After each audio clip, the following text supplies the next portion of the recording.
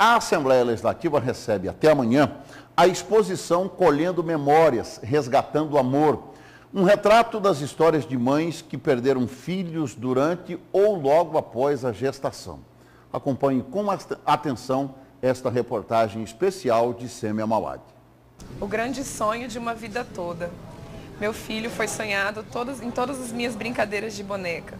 Estava em todas as minhas orações e sua concepção foi recebida como um verdadeiro renascimento. Todos o esperavam com muita ansiedade, até que no quinto mês de gestação descobrimos que ele era portador de uma síndrome. No dia 26 de 10 de 2015, após muita luta durante uma gestação de risco e um prognóstico de incompatibilidade com a vida, nasceu minha luz, meu respirar, carne da minha carne, meu tão sonhado, esperado e amado primogênito, a verdadeira herança preparada por Deus. Pedro. Veio do amor, com o amor viveu por quatro lindos meses dentro de uma UTI neonatal e para o colo o amor de Deus voltou dia 5 de março de 2016. O relato é de uma mãe que perdeu um bebê muito amado e desejado. Na foto, o registro do pequeno Pedro, que viveu pouco, mas o suficiente para espalhar amor e esperança. Em 2015, eu engravidei do Pedro, meu primeiro filho, sonhado esperado a vida toda. E aos cinco meses de gestação, ele foi diagnosticado com uma síndrome chamada síndrome de Edwards, que é a trissomia de um dos cromossomos, o cromossomo 18. E após uma gestação de risco, né, muito cuidadosa e em que nós é, vivenciamos várias experiências de quase perdê-lo, nós conseguimos fazer com que ele viesse a esse mundo com 36 semanas de vida. E o Pedro nasceu e viveu durante quatro meses numa UTI neonatal. É, e nesses quatro meses nós experimentamos do amor mais lindo desse mundo, aquele filho tão esperado, tão sonhado, que tanto lutou para ficar aqui, né? E que aos quatro meses partiu para junto de Deus, que chamou para junto dele.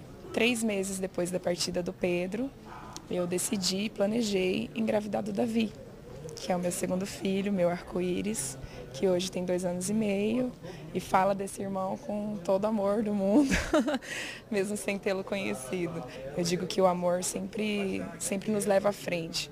As pessoas me questionavam quando eu logo engravidei do Davi, se eu não estava num processo de luto e se como é que eu viveria aquela alegria da chegada. E eu disse que o meu próximo filho sentiria tudo aquilo que eu senti pelo irmão dele, fosse a saudade, fosse todo o amor. E exatamente isso que aconteceu. Hoje eu tenho um, um filho lindo aqui que fala desse irmão cheio de carinho, de posse, é meu, de mais ninguém. E, e muito realizada como mãe, como mãe do Pedro e como mãe do Davi. E são muitos os relatos cheios de emoção e de saudade. Tudo descrito em forma de imagem. As fotos retratam o amor incondicional de ser mãe. Mãe que acolhe, que sofre quando a separação chega. As fotos eternizam momentos, criam memórias, fazem homenagem e mostram que a saudade é eterna. E eu confesso que foi muito emocionante estar no mesmo lugar que aquelas mulheres, por mais que nós nos reunamos no grupo, quando nós nos vimos ali com os nossos filhos no colo e podendo falar desse, desse amor que tira esse sufoco, que tira essa dor, eu confesso que foi muito emocionante, muito mesmo. O dia, no dia das fotos, meu filho estava muito feliz, muito feliz. Ele abraçava a foto do irmão com uma vontade. Foi um dia muito alegre, muito mesmo. Nas fotos a gente consegue perceber o quanto nós estamos alegres. As fotos foram feitas por essa fotógrafa, Ana Boel emoção para as mamães e para a responsável por registrar os cliques. Nós estávamos ali com as mães e os seus bebês arco-íris. Né? O arco-íris é uma expressão utilizada sempre que uma mãe perde um bebê e depois tem o sucesso numa gestação, né? e o bebê vem à, à vida. Esse bebê é chamado de bebê arco-íris. Por isso nós utilizamos as cores do arco-íris e a mensagem que nós gostaríamos de levar para as mães que estão enlutadas, passando por esse processo, é que depois da tempestade virá a bonança, né? Que depois daquela chuva árdua, cheia de trovoadas, sempre virá um arco-íris para colorir os nossos dias.